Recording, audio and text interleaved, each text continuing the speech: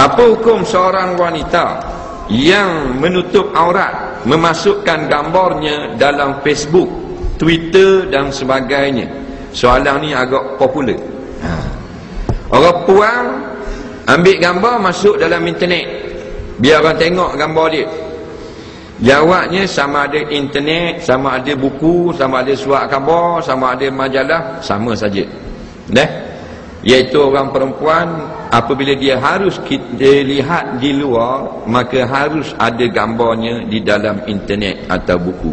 Di luar orang perempuan ini mesti dalam keadaan menutup aurat nah tidak bertabaruj make up berlebihan. Nah maka bila dalam internet begitulah yang diharuskan syarak. Apa yang harus dilihat di luar maka harus dilihat pada gambar. Itu kaedah hukum fiqh kita nah Cuma gambar jangan besar.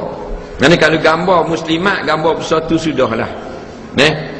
Eh, dalam keadaan tutup aurat, muka dia besar ni. Actual size biar besar ni saja. Satu inci sahaja. Bertutup aurat, jangan tabarut dan bukan tujuan nak suruh orang laki-laki tengok dan rasa jatuh cinta kat dia. Jangan gitu. Nak jual muka gitu. Tujuan-tujuan yang dibenarkan syarak sahaja. Tu jangan lebih-lebih. Ropuan ni kadang-kadang dia dia bodoh sikit ropuan ni bila kita tegur bukan hak atas ni lah hak dalam internet tu. Bila kita tegur dia dia marah-marah. Dia kata suka orang lah. Ikut suka kita lah. Bukan dia tak nampak. Kita nak jaga benda ni. Dah? Ha, jadi jangan lebih-lebih.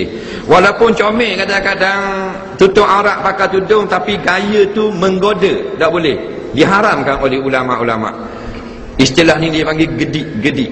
Nampak? Comel dah tapi Faham? Ha, kita tengok pun Jangan meluak tengok Nah, ha, jadi betul dah Facebook itu batu banyak faedah tapi jangan jual muka gitu. Duduk molek-molek dah ambil gambar. Nah.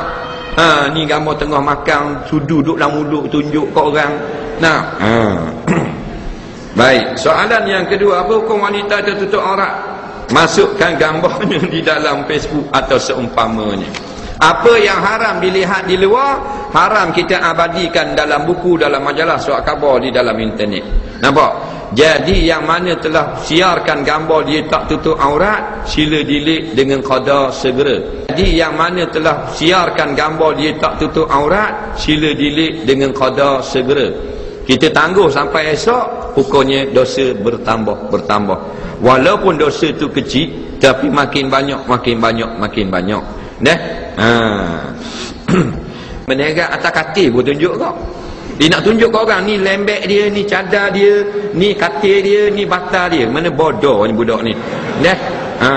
Kita pun minta jadi friend dia. Nak bukan nak mengorak dia. Bila jadi friend dia kita tegur dia.